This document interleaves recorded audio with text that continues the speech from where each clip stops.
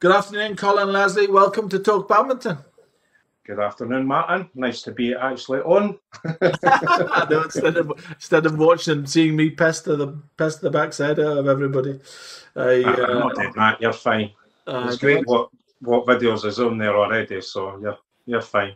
No, that's good. Any names that you know? Lyndon, what Lyndon Williams, you know him? Yes, um, he actually was one of my first coaches.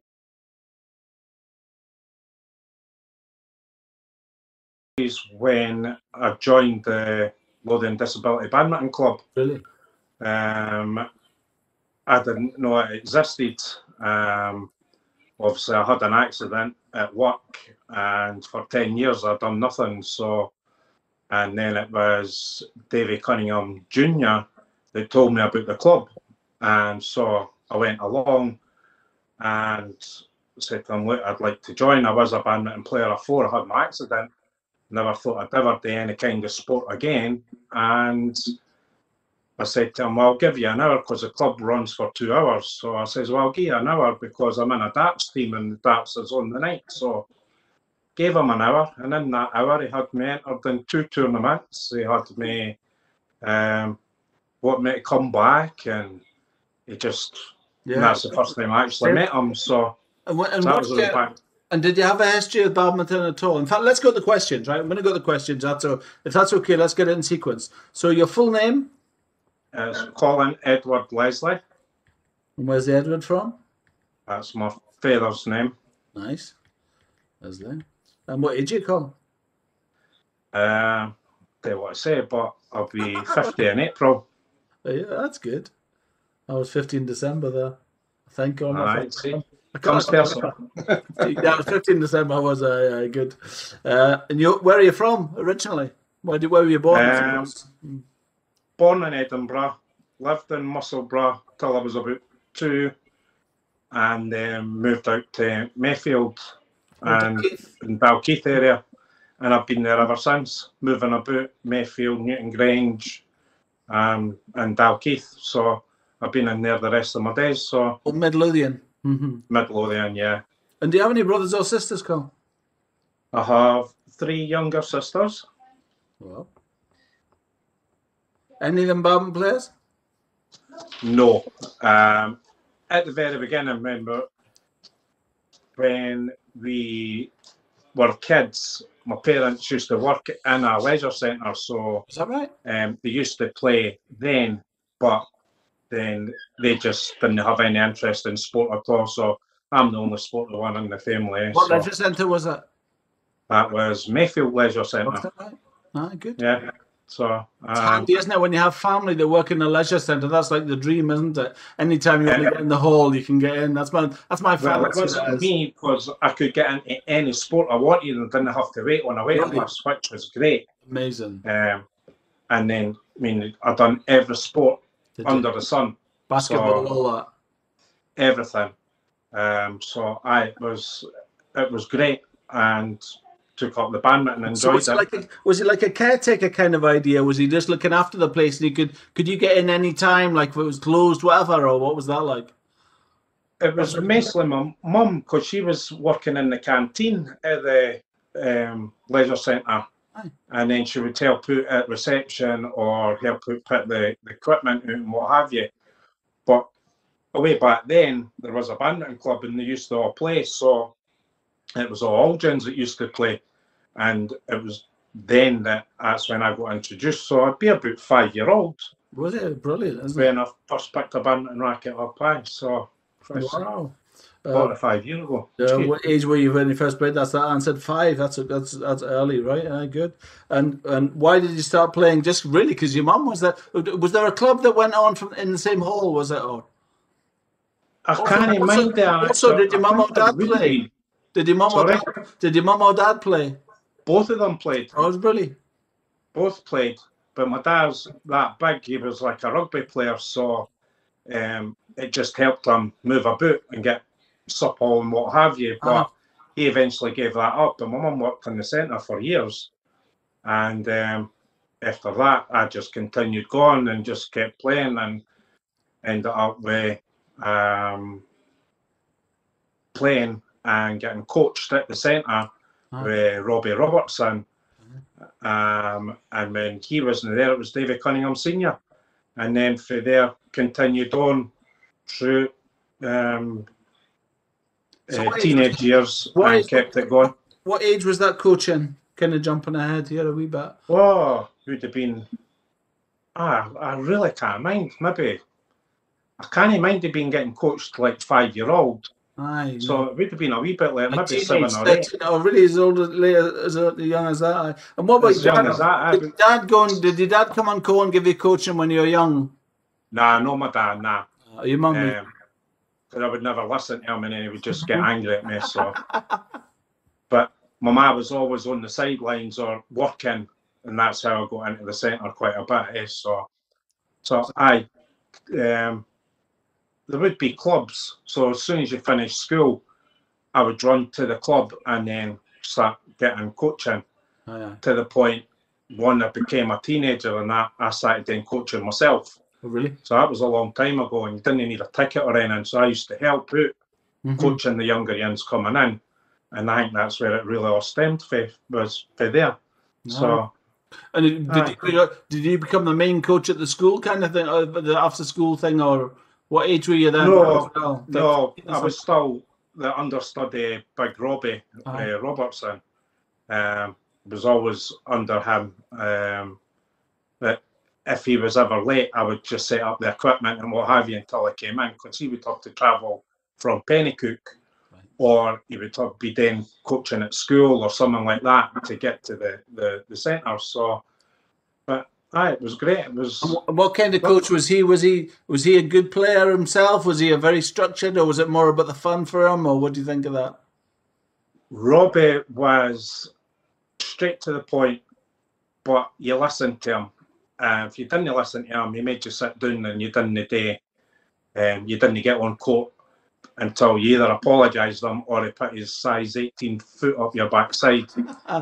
That's how big he was. I mean, it- Is you he- think David David Cunningham Senior or sorry Junior is tall, but Robbie was like 20, 22 stone, and he was just like a giant to us, absolutely massive.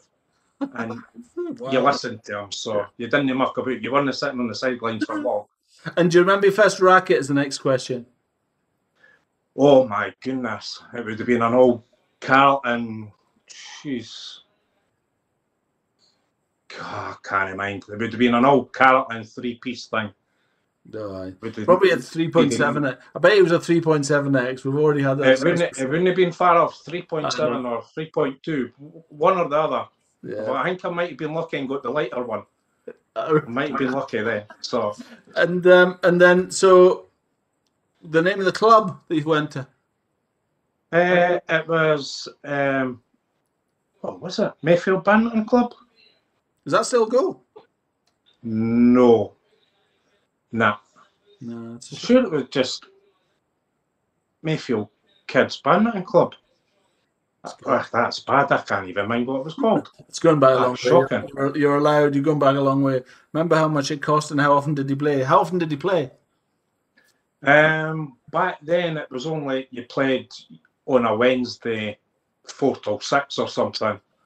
So I think it was like just once a week. Aye. And if we were really lucky and there was like a tournament coming up um, with the schools, then you got to go away to different areas. And usually it was Midlothian, but Penicuik that used to have the tourn- tournaments there. So, I mean, that's, I mean, Christ, that's 40 odd years ago. I'm trying And to think back, back. and back in the day, do you remember Dougie Walker? Douglas Walker, aye, he was the one that run all the tournaments. Aye. Um, you Did, listen co- to him he as ever, well. did he ever go any coaching with him? Uh, very occasionally, I go coaching with him. Yeah, Aye. So um, Yeah. certainly around that time, he seemed to be the main coach in and about Edinburgh, wasn't he? He's, uh, for for Lothian area, he certainly was. Aye, so yeah. Um, his first shuttles he used in uh, Mayfield, plastics or feathers? they would have been plastics, probably RSL plastic. and so, what did you say your first ever coach was, Colin? Uh, as to my knowledge, was Robbie Robertson. Was my first coach. Do you remember the first thing you learned, Carl? Um, yes, it was don't speak until spoken to, and then sounds, like, sounds like a very principled like, yeah, coach. yes. I was And expecting then- I was expecting a grip or smash or overhead or footwork or something. No, it was that. Then it, the very first thing I think it was the high serve, Oh, yeah. probably the high serve that he gave us. Aye. So? Uh, aye, uh, do you remember the first ever tournament you went in? No. It was a schools thing, was it? Did you go to It school? would have been a school tournament, and more than likely it would have been in Penicuik at Beeslack High School or something like that. Yeah. And what what did you like? What was your favorite? Did you were you a singles player or a doubles player or a mixed player back then? Singles was my game, um, and later on in life it became mixed doubles was a better That's game it. for me. It's brilliant. Um, but as I'm getting older, This pre is this before the accident? What age did you have the accident? Can I ask that? Sorry. um, I had that accident in 2002, so nine, 19 years ago. So that was. Um, so, when was that accident? Aye, Two. Hmm. 2002 was my accident um, in the January. I was getting married in the June of that same year. And then I lost one leg 2004. And then I lost the other one in 2006. Can I ask what it was? Carl? I was being, I was actually, I'm a landscaper to trade. So I was up a ladder taking ivy off a building down in Dunbar at East Lothian. And I took, I'm up the height of the ladder. Like at the drain level, at the drain level kind of thing, up at the top, aye.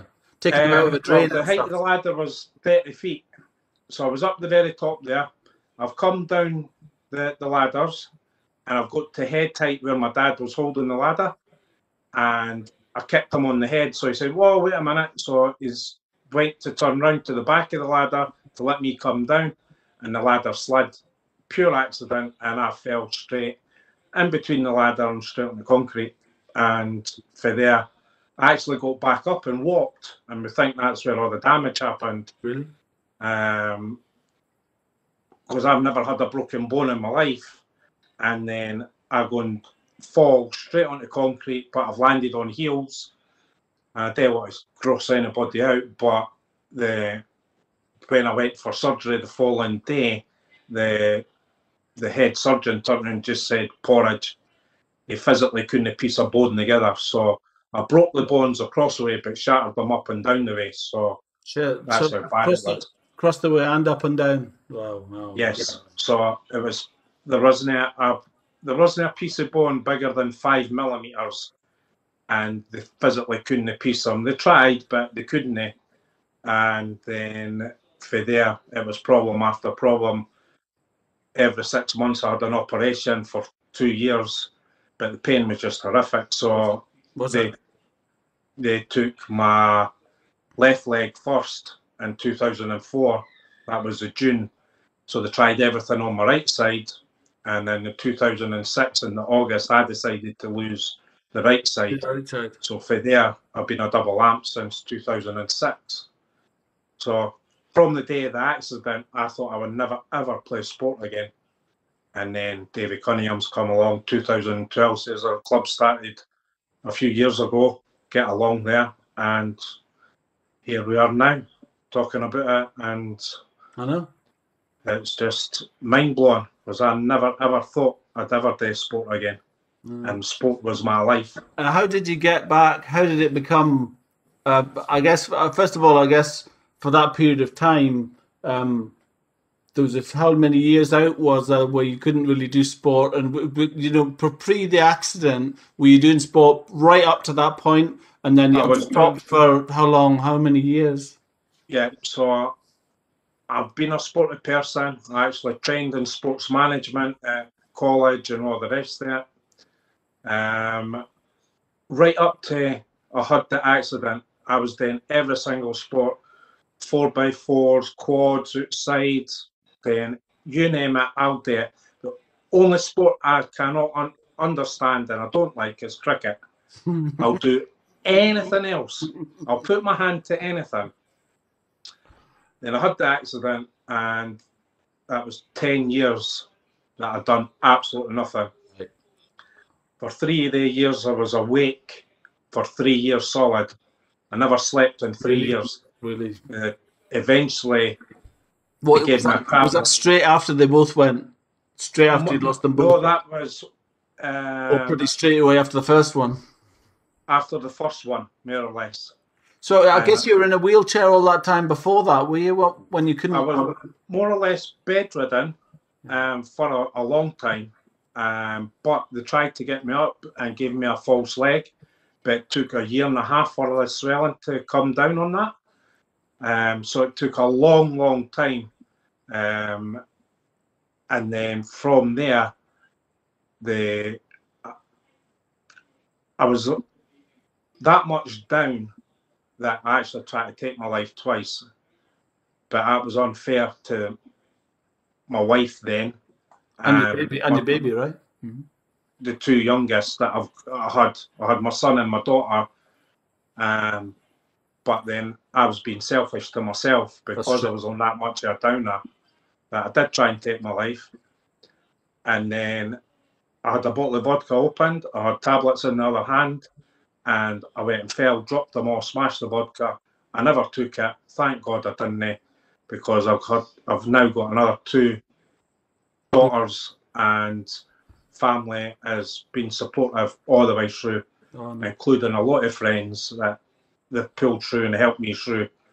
And the badminton seemed to help me as well on I doing think- that. So I personally think you're a massive inspiration to anybody, and I've been Well, thinking I- a lot. Uh-huh. Sorry. I get that for quite a few people. And as long if I can change one person Yeah. to I've been the able side, now I'm the disabled side.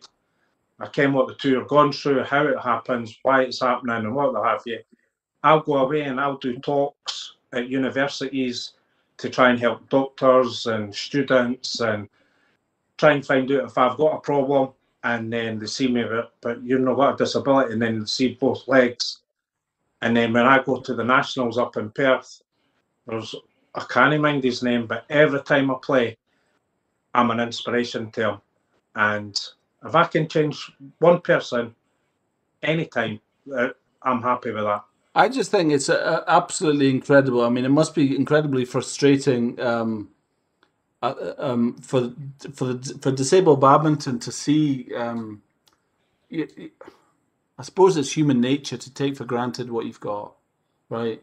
You know, it's human nature that where you've got what you've got, and then you know. But I look at I've I've been doing a lot of thinking about disability and badminton and that kind of thing, and I think you know it. It's almost uh, you say it's a disability, but it's almost like a superpower. You know, to think about. You know, if I had to, somebody said to me, right, Martin, you're gonna lo- you're gonna lose both of your legs. Um, how could you play badminton? You, somebody somewhere down the road who's saying, right, okay, Martin, with your disability, you need to do X, and with your disability, you need to do Y. And there've been so many different disabilities out there. I think Yeah. it's just absolutely incredible that you you turn. So, and how do you? Can I ask how do you do that, Colin? How do you? What do you? What did you? What did you? What do you learn? What? How do you think you need to be different to other players? Do you think? I mean, obviously, I mean, I'm I'm aware of things like um, feet, um, controlling feet direction, controlling stance, and balance must be a massive thing for you, right? So, what Well- what is it? Do you do? For for myself, when that- when that accident happened, they said I'd be in the wheelchair the rest of my life, and I vowed I would never be in my wheelchair. I've got a wheelchair. I didn't want to use it. I've got crutches. I've got walking sticks. I didn't want to use all that. What what's for me is on the disability side, although I am disabled, I don't actually class myself as disabled Yes. because the club that I coach at, at Lothian Disability Badminton Club, I'm not disabled compared to some of the people that come in. So the one thing that stands out for me is some of the kids that I've coached. One of them is his name's Logan Welsh, when he came to us, he was only five or six year old, and he turned around to me and he said to me, um, I, I can't walk properly because I wear leg braces. And he hadn't met me. I says, Well, how about not having any legs? And he looked at me and he says, ah, What do you mean? I said, Well, I've not got any legs. And then I says, Well, I'm playing international badminton and I'm going to try and go to the Olympics. Well, this five, six year old laddie turned to me and says, Well, Colin, I'm going to make the Olympics. Well, that just so he's already set up in his mind what he's going to do. That that wee saying has stuck with me yeah. all that time. And now he's 10 or 11 now, and it's stuck with me all this time. Yeah. He's so determined and he's so bright eyed, and his disability that he's got, I mean, it's visible, everybody can see it, and it just opened my eyes. It really opened my eyes to having that young kid and to me to what I've got and everything in between as in wheelchair users, short stature. I've never dealt with short stature. The wheelchair players I've never dealt with, people with arms off and and that we all come together. Yeah. And the coaching staff that we've got, we're all volunteers and the whole lot of us come together. And as long as we put smiles on everybody's faces in the disability group, and we can go and share that with other people, that's it makes life so much easier. A lot of it is for the pleasure and enjoyment, and everybody. There's still you still have competitiveness. You still want to. I'm just interested in how you. I guess I, I guess there's no there's no that's the that's the question. That's the point. There's no recipe. You know, everybody is so different. You know, when you have a room full of able-bodied people with no with nothing, there's nothing technically. Each one could be do to, to have to do different from another. Um, That's where, right. where in disability, you're going to be saying, right, you need to work on X. You need to work on your balance. You need to work on that side. You need to work on how you're going to get a wheelchair over there. How you're going to, going to get backwards. How you're going to get forward fast. That's. You know, and how you're going to hold a racket. All of these That- kind of disabilities, right? Yeah, that's exactly right. I mean, when I first went to club in 2012, I was about 19 and a half stone.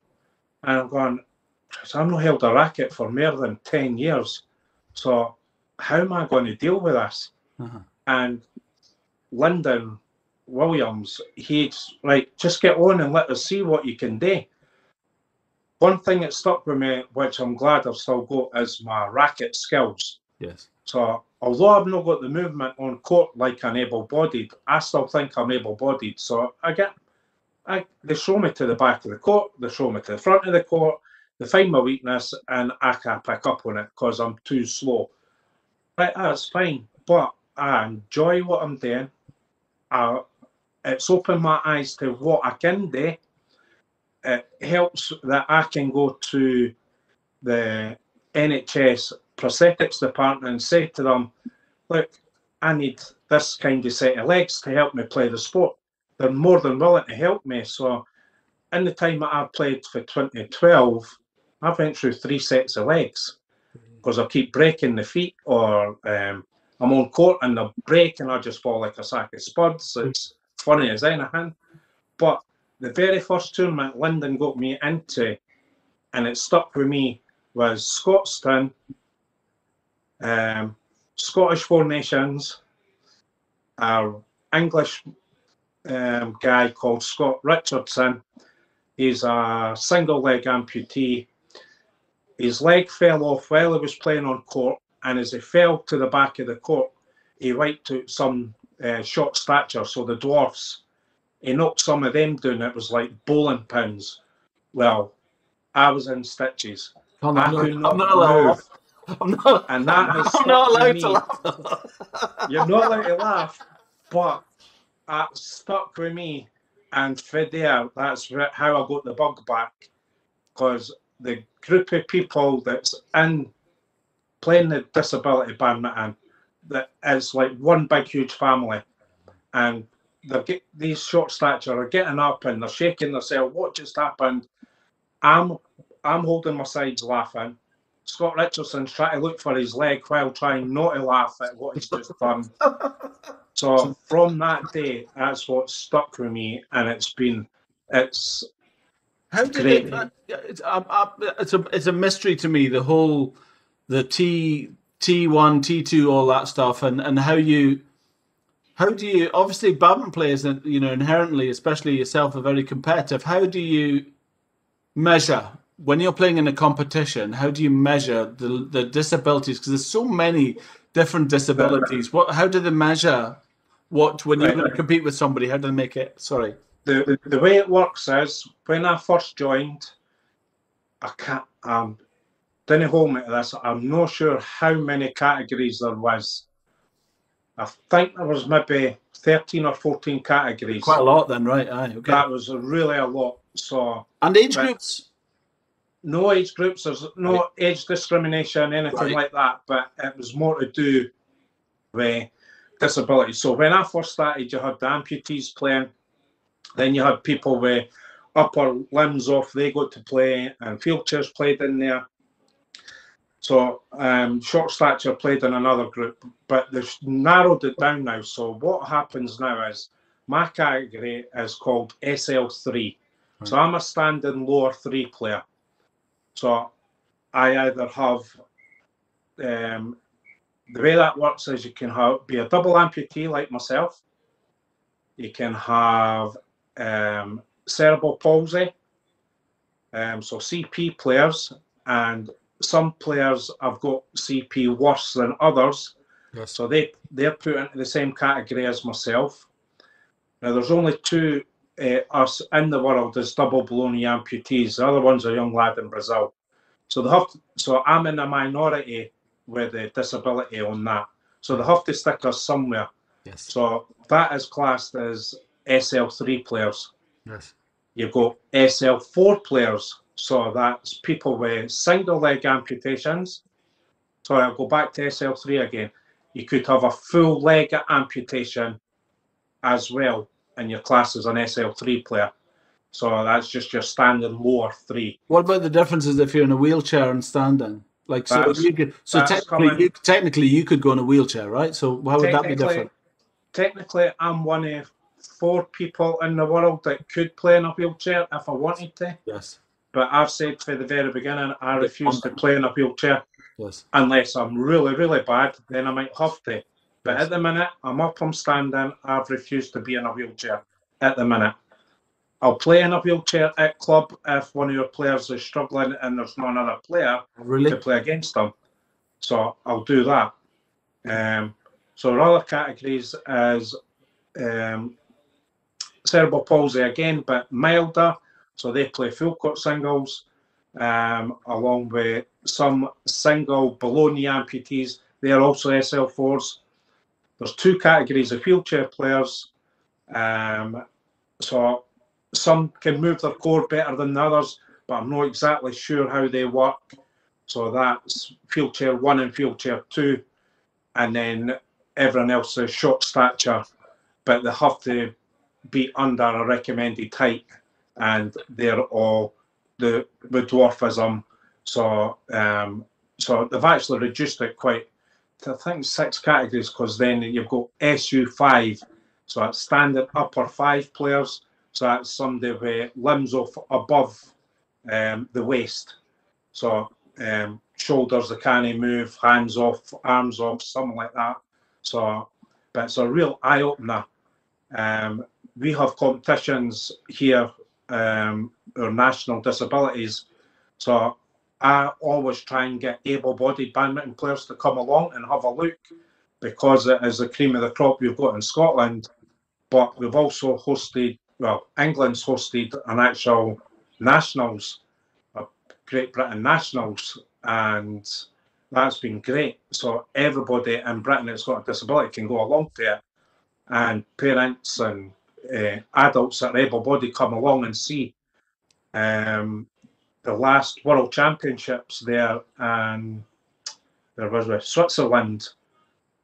It's the first time that they actually played uh, World Championships and the dis- disability uh, World Championships side by side, and all the top players that were Momota, um, Mia Blichfeldt, all the Danish players were all coming and and they were flabbergasted on how well the disabled players were playing and the comments that were given while we were standing or actually on court, they were in awe of us playing, and that that's just amazing. It's just beyond belief. It's just beyond belief. The idea that somebody could, I think, as a player, you you take for granted, you see it, and you, I think that just I just think it's incredible that the, the way that somebody can. Um, just, I think you you probably the, the only way you can rationalize it probably just trying to think of yourself playing with those disabilities. You know, if you had somebody tie your arm behind your back or whatever it was, and just thought, how could you play like that? You know, how can you know how what I mean the motivation, the determination, and the they must just love it though, right? I mean, East Lothian seems to be particularly particularly big on it. Is, is East Lothian unusual compared to the rest of the Lothians? No, I think it's East Lothian because that's we actually train at Musselburgh um, Sports Centre. Yes. Because we can't get facilities in Midlothian because Midlothian's all gymnastics at night time. So we can't get facilities for badminton. Um, so But the rest of the Lothians, West Lothian, does it have it? Does well, we have got a club at West Lothian as well on a Wednesday evening, Right. but that's more for um, the learning difficulties. right? So the some guys, some of the guys have got downs and stuff like that, but they're really good players, and a few wheelchair players, and a few players that come from West Lothian to train on a Tuesday night with us also go to that club. Yeah, yeah. And I mean, one time at our club, our Scotland national team, there was nine players, and seven of the players actually come from Lothian Disability Badminton Club. Hey, wow. So um, the other two come from um, Glasgow way. So we have the calibre of player, but unfortunately some of them have retired now or they just gave up through injury and they just can't play anymore. But I'm one of three at the minute that's still trying to play. Um, we're hoping next week we get good news because we've had new, um, because of COVID and all that nonsense, that um, we've had new tournament um, dates set. So May we're supposed to finish off in Spain, which was the last qualifying event for the Olympics. Wow.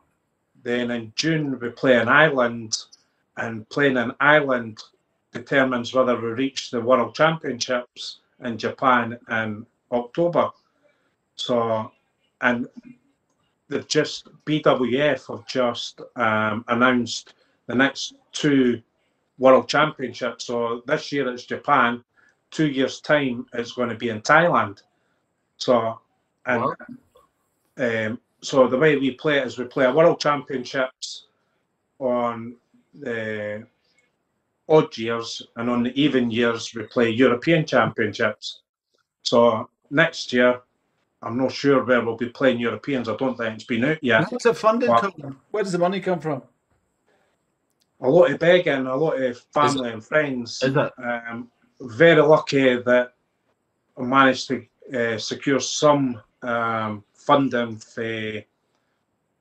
It's, it's called Archer Hall, which is through one of your expats. Um, Brilliant. she managed to get um, three years funding over the three years, but unfortunately this year, uh, obviously there's no money because of this has happened. Yeah, yeah. And then local government, which is Midlothian Council, um, I get a wee bit of money for them, but they give me the facilities for free, which is excellent. Yeah, yeah. So I, I have a annual card. I get into any facility in Midlothian Furnahan to train, so swimming and gym and all the rest of it. So that helps a, an awful lot. And what do you do outside Um, of badminton, Colin? What do you do outside of Sorry? badminton? Do, do you swim and stuff like that and walk, or do you do anything else other than badminton? Well, I used to be a lifeguard Oh. um, many years ago, so um, I trained just for upper body for when you used to go and save people. Yes. Um, then you use your legs, but now all I do is all upper body stuff. Shoulders. Uh, Um, but I've not, is quite funny because I've not got legs and I go into the swimming pool. Yes. If I do not kick my legs Yes. and I do a front breaststroke arm, I go back the way. So I've got to. I don't know how it works Yeah. Okay. because I've obviously I've not got feet, and I've actually asked the staff and in the team video it when I do a breaststroke forward movement, I actually go back the way. So I've got to do everything front crawl. It's just crazy. Front- So everyone's upper body for me anyway. So I've trained for that. You just But have a flow, but I guess you, I guess you'd have a flow between your legs and just do front crawl, do you? That's what I would do. Probably. No, I don't need that. No, that day, no, it's nothing like that. So I'm quite a good swimmer. I've be, I have been for years. So Uh, that's all my training and everything that I've done. And That's what you're training. And uh, one thing I'm, I'm interested in is that is technology and in your legs and you and your feet and your shoes Yeah. and your Yeah. movement. Um, how has that changed over the years? right, when I first had my accident, what they gave me was it was more or less a wooden foot, a metal shaft for a leg, and um, I've got a thing called a socket. I could actually take my leg off and let you see. Please. So I'll, I'll hold it up to you and let you see it. Mhm. So at the very beginning, that's what they gave me. But every month or so, I would break the wooden foot with a steel pole because it was only just screwed in. So I was more or less carrying a, a set of screws and a screwdriver with me Wow. just so I could walk about places. wow. So we changed that, and then we went to um, suction. So same socket, they slightly moved the leg to a wee bit more rigid leg, but gave me a rubber foot, and then they gave me just socks to put over my stump. I would slide it into the um, socket, Okay. and then I would go and do whatever. But if I was running about or I go and kick a ball, I would kick my leg further than what I kicked the ball, and I would just fall like a sack of spuds. Honestly, it was ridiculous. So they changed it again, and then what they've done is it's called a lanyard. So what I would have to do is they gave me a rubber sleeve to fit on my leg, and on that rubber sleeve there was a small screw with a bit of string on it. So I would screw the screw to the rubber sleeve, then pull the string through the leg, bring it out the side of the leg, and I would pull. As I pulled it, I would tie it up. That was that. But if the string broke, that was my leg stuck on my leg. I couldn't get it off. So I would have to go, it'd be at night time guaranteed or a weekend when the NHS is closed. I'd have them leave my leg on until I could go to them on a Monday morning. So that's no good. So now the same system I've kept up with since maybe 2007, 2008 is I have a rubber sleeve and it's got a metal pin in it and it's like a ratchet system. So if I have my rubber sleeve, I have a pin that slots into the hole, Yes. it would go through and you would hear it click in and so click, click, click, click, Yeah. Yeah. and then that would hold it rigid. And then I have a small button on the side I would press and it would release everything. A- wow. But every now and then the technology breaks down. So at the minute I can get one of my legs. That's me I'm- just unclicking it. I've, just had a five minute warning call, right? Okay, okay, not a problem. Wow. Was that graphite? This is um, graphite for well, sorry, carbon fiber for. Ah, so, It's cool, though. It's cool. If Right. ever you wanted something that make you feel like a superhero, that's the one, right? well, I've got this. This is my first original sports legs. Yes. The carbon fiber foot is different grades of carbon fiber, and I used to keep breaking them. So they've given me the highest grade of carbon fiber, which is inside this rubber foot. In this small box here is all springs and slight rotation, because I asked for rotation so I could move on court. Oh, Wow. I have a dampener here, which is Oh. um, just a rubber suspension, and it's all held together with this, and this is titanium here. So it weighs about five kilos, this leg in itself, and then we have the socket, and this is a wee button that I press to release my Iceross. I'm not taking my Iceross off, but if I lift my leg up slightly, I'll be as quick as I can. Can I ask you a question? Yes, What size of shoe do you take? size nine. but I can go, I can go from an eight to an eleven. It's quite good. It's quite good because you could probably you could buy shoes on sale. You can see Yes. shoes for that, doesn't it, man? That's what I do. I can sometimes get away with a size eight, and they're cheaper. And then sometimes I can go to a ten and an eleven, depending on what kind of shoe it is. Was that, tell me, was that a, was that a conscious decision? At some point, does somebody ask the question, "What size of shoe do you want to take?" No, at the very beginning, they did ask what was the size of feet you had. So Aye. they made the feet to that, eh? So So I shouldn't I shouldn't joke about it, but hey, no, that's what it's about. So this is my everyday walking leg, but this was my old sports leg, and Right. now I have a set of uh, like the running blades that you see on the TV. The guys are running. yes, It's a shorter version of them. So it's Uh-huh. got same socket, but it's just a blade that runs down and it curves round. And I've got uh, a rubber foot on that, and that's what I use on the badminton court now. Brilliant. lot stronger. I'm more secure when I'm playing. So over the moon with him. Amazing, Colin. Right, we're gonna go. Just good. I'm gonna get cut off, so I want to say goodbye, and I don't want to be rude and just get cut off. Right. No, so, you're all right. Thank you. It was awesome, and we'll come again. We'll speak again. Right. That was Definitely. Thank that- you very much, man. that was that was Thank awesome, you. Colin. Thank you. Cheers for that. Cheers. Have a great Bye. time. I'll see you on court soon. Right. Cheers. Cheers.